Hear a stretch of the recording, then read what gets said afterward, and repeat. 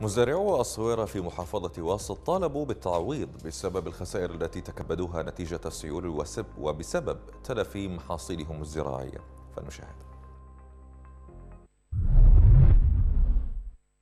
أحد المزارعين الجيدين في منطقة داور الغربي الشرقي في ناحية الحفرية.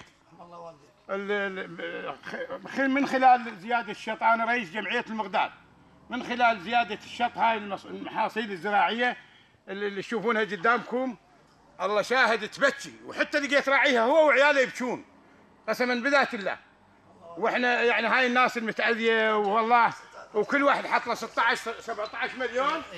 حتى حتى يلا اسمعني. حتى حتى ي- ي- يسد ال- ال- ال- الخسارة اللي خسرها وتالي هاي سبحان الله. الله جاب لنا الشر. لا إله إلا الله.